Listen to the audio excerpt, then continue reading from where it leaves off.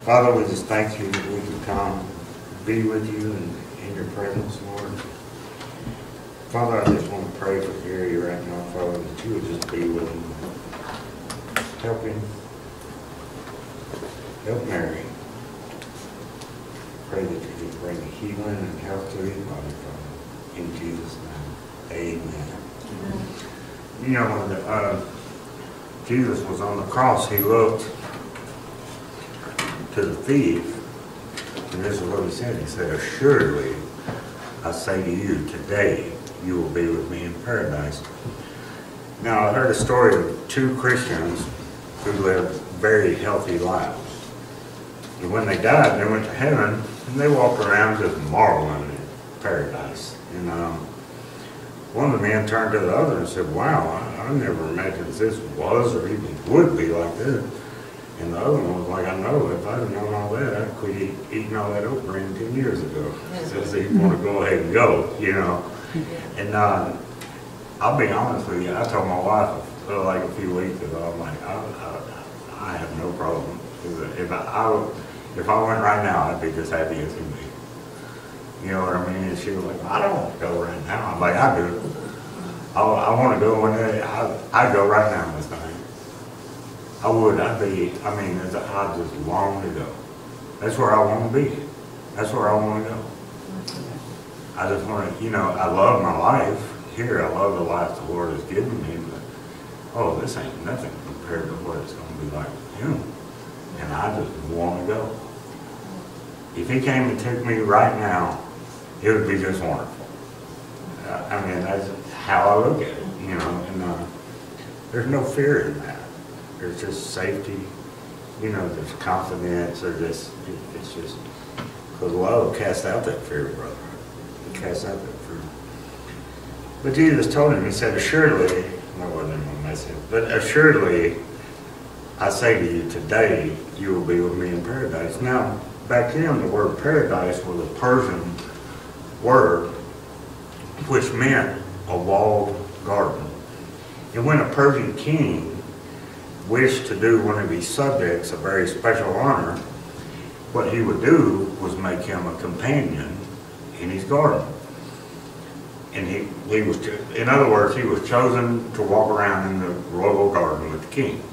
Okay, that's what that meant. So when Jesus said this to him, it was more than um, immortality that Jesus was talking about.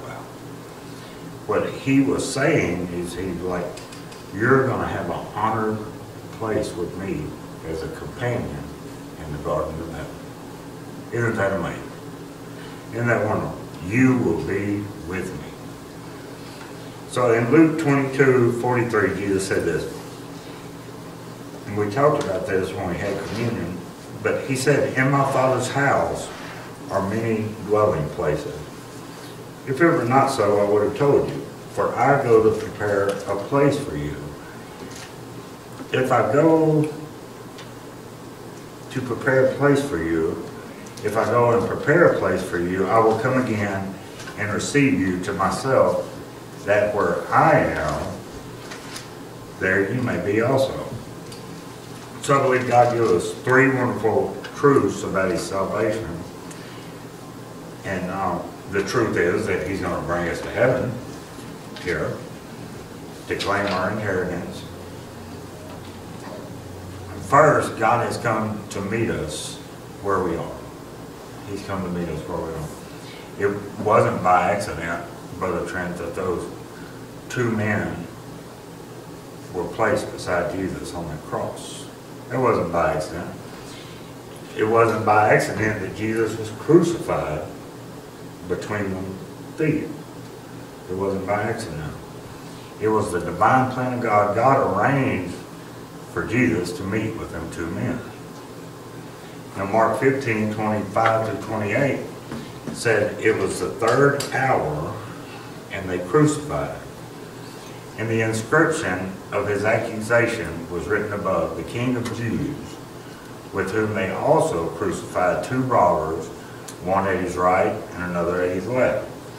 So the scripture was fulfilled, which says he was numbered with the transgressors. No accident. You know, perhaps this was the first time, Brother Trent, that um, these men had experienced the presence of God. There's Jesus right below, God right them. They're in His presence. Um, but when they needed Him most. He was there. That's the thing. When them two robbers needed Him most, He was right there with them.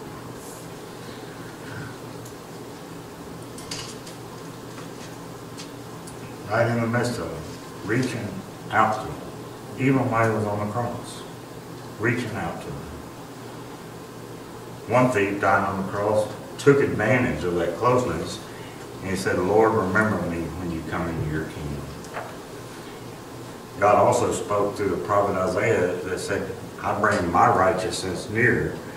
It shall not be far off. My salvation shall not linger. You know, I think in, in the routine of life and in the crisis of life, God is near us.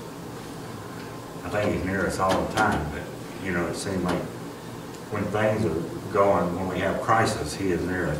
He's our hope in the midst of things. He's our hope in the midst of all that happens in our life. He is the hope. God places Himself there so we may experience His salvation, His comfort, His love, and His passion. And when I say salvation, I'm not talking about just, uh, oh, I, I got saved, I'm going to heaven. That's not what I'm speaking of. What I'm speaking of I mean, His salvation is working every day. He saves me from myself every day. I was talking to, um, Pastor Dirk, and he, you know, he was talking to me about the, the enemy and stuff like that. I was like, he's not my worst enemy. The devil's not my worst enemy. And he's like, what do you mean, devil? I'm like, Gary's my worst enemy.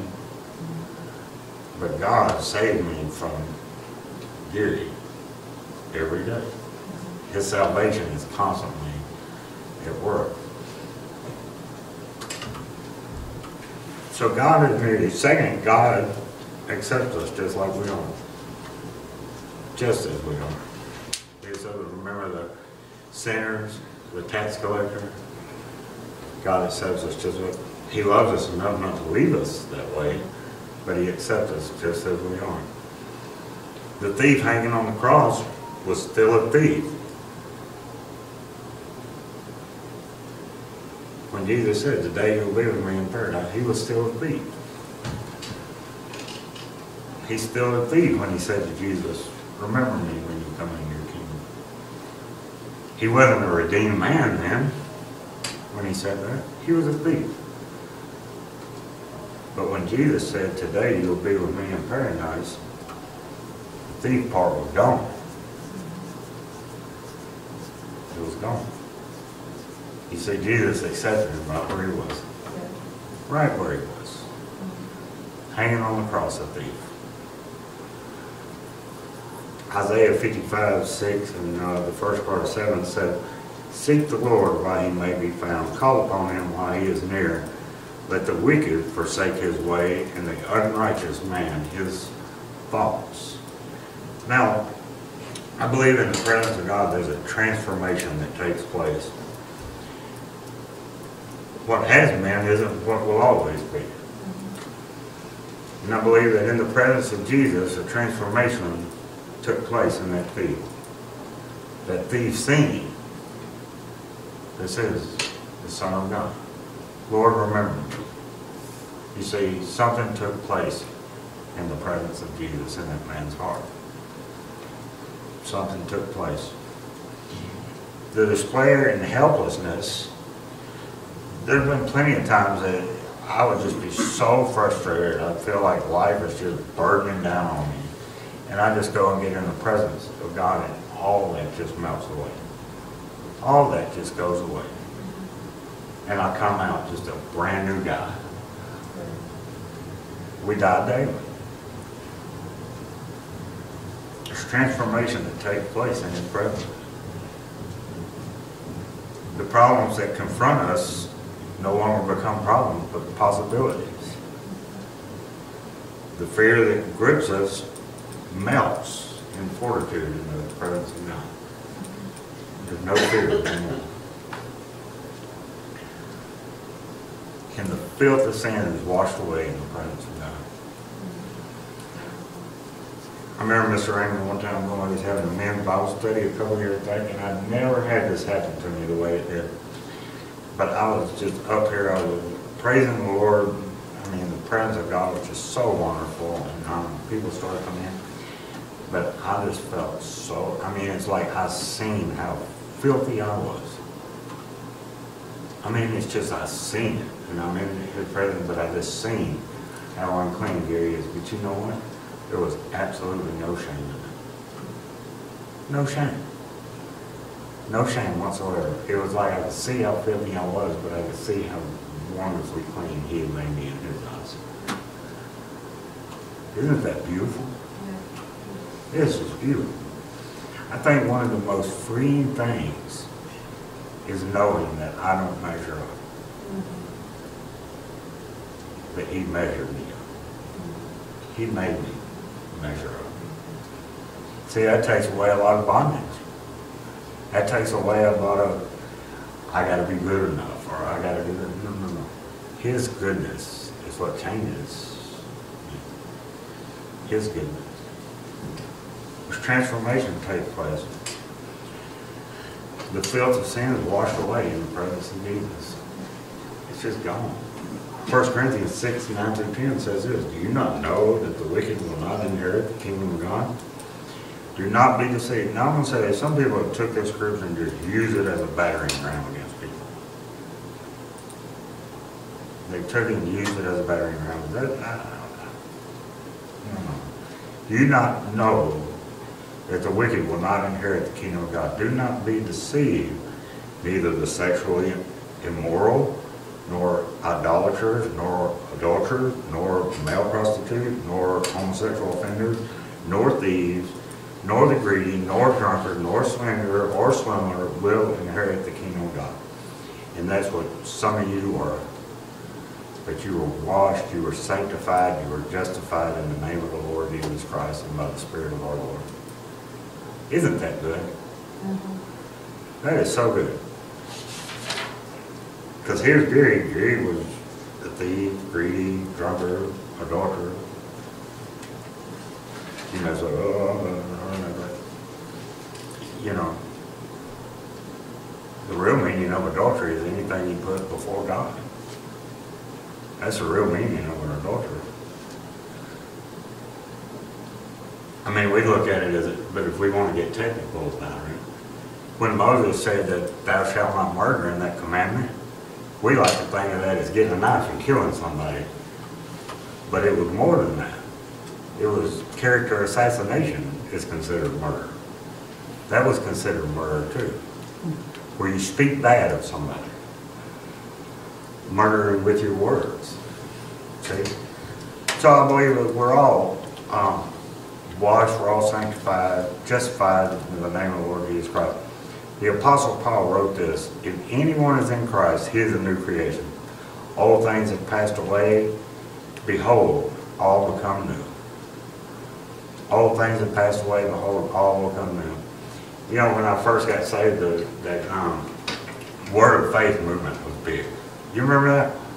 Like uh, different ministers that are going out to be with the Lord and stuff, that they had this, just confess it. If you confess it enough, it's going to happen. Remember that? Just don't say nothing negative. You know what I mean? Don't say a thing that I knew people who were sick as could be, but they wouldn't confess it.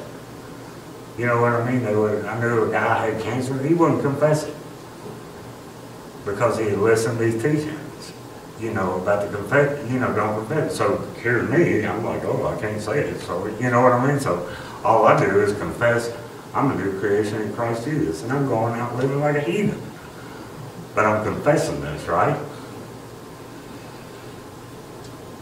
But then I got studying, and you know, uh, when people would go to Jesus and they, you know, they'd be like, "Well, what is it?" He'd be like, "I'm blind." He never said. People wouldn't say, "I can't confess it." They say, "I'm blind," and Jesus would heal them. And I, I learned, Mr. Raymond, that faith does not deny fact. faith changes fact. Faith don't deny it, it changes. Now, that's good stuff right there. But I would confess that, I was a new creation, I'd go live like a devil. I mean, I'd be in church on Sunday confessing that, and I'd be chasing women or whatever, you know what I mean? That's just who, it's what I did. But I kept confessing it, and I was like, well, it's good, know. But I remember the day, Brother Trent, when I was reading that, and I probably hadn't confessed it in years. And God said, that's finally come to pass in your life. It's finally come to pass.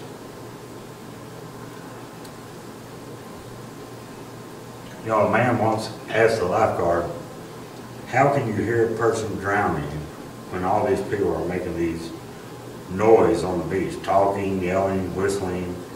The lifeguard said this, I've been at this job for 20 years. I haven't let one person go in distress. My ears are turned towards those in distress that call for my help. Two thieves hung on the cross beside Jesus. One thief called on him in distress. And he. Isaiah 55, 67 says, Seek the Lord, call upon him. Call upon him. The other thief, although he knew who Jesus was, never asked for salvation. He never asked for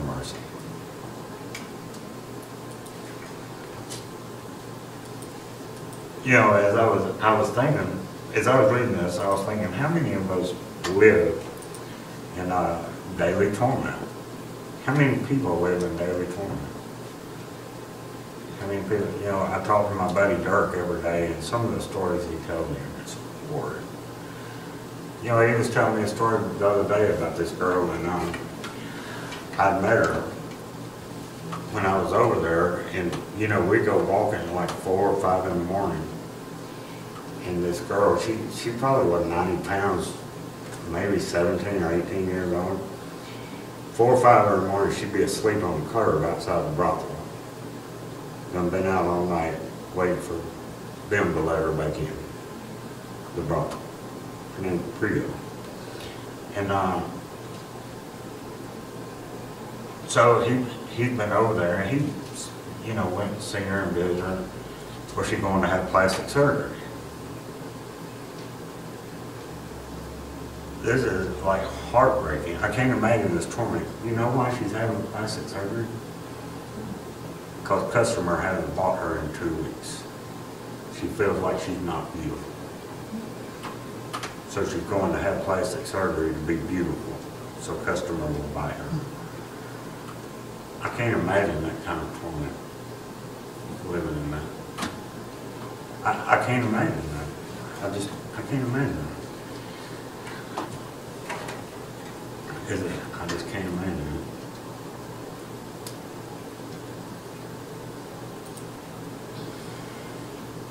You know,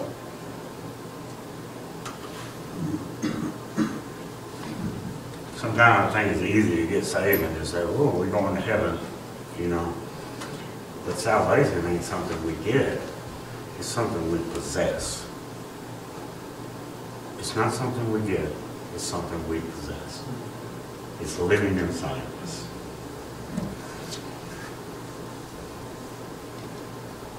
Even right now, God's desire is to save me. Constantly, be me.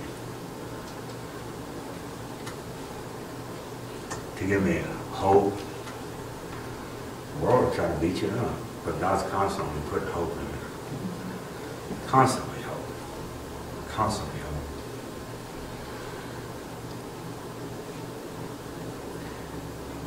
So, quick story, I'm finish. A young and devoted church elder once claimed to have a vision of Jesus.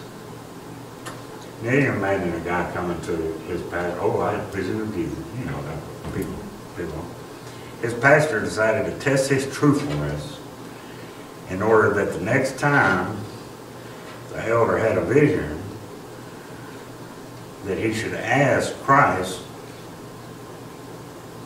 the pastor told him, he said, next time you have this vision, you meet Christ, ask him what my primary sin is. What my primary sin is. Well, some months later, the elder returned and the pastor asked if they had the vision. Oh, yeah. Oh, yeah, I've had a vision. Well, did you ask him? Oh, yeah. And apprehensively, the pastor said, well, what did he say? And the elder said, he said, I don't remember. I don't remember.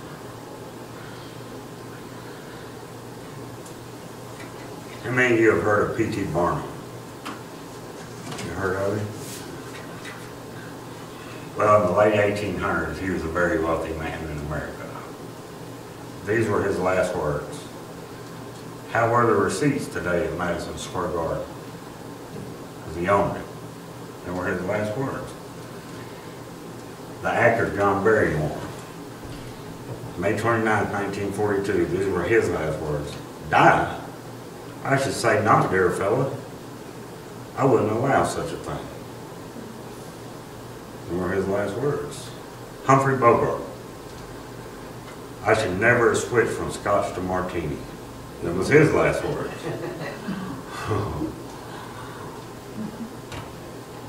Sir Winston Churchill, who gave the commencement address, Never Give Up, died January 24, 1965. These were his last words. I'm bored with it all. That's his very last word. Karl Marx, y'all know who he is? Communist. Yeah. These were his last words.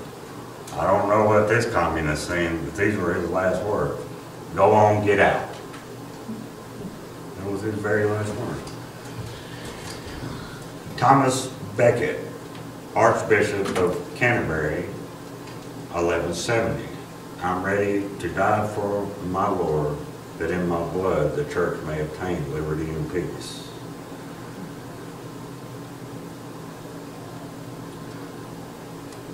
But There's another man in history whose last words tell us a great deal.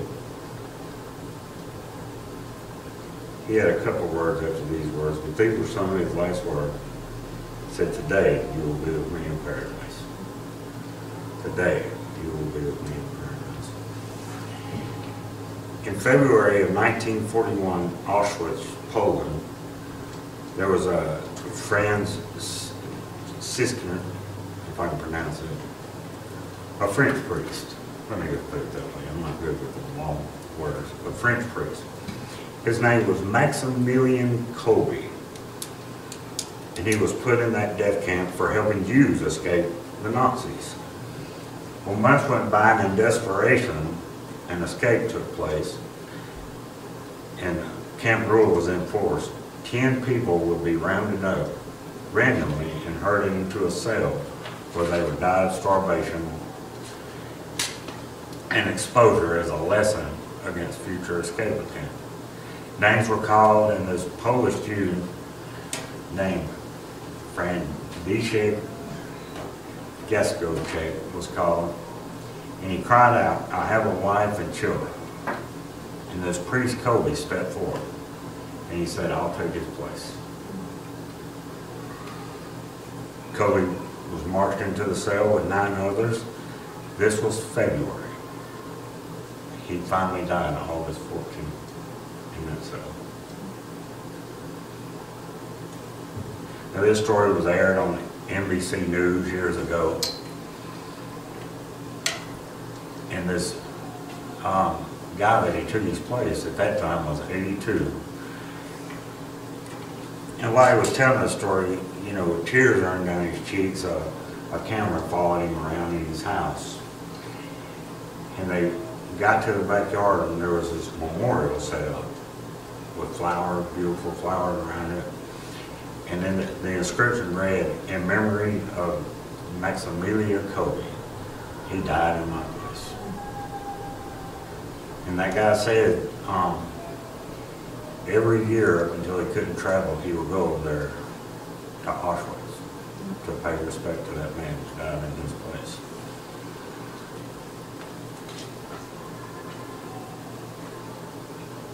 Here's what Jesus said, greater love has no one than this, than to lay down one's life for his friend. Amen.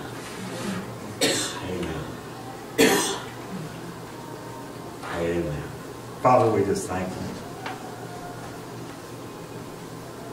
We praise you for your goodness. Father, we praise you that it is your goodness, your grace that leads us to repentance, Father. And Father, I just help, ask that you just help us to be a little more like you, Father. To die to ourselves, but to see others through the eyes of, of your eyes and the eyes of your Son, Father. We just love you and we praise you. In Jesus' name, amen.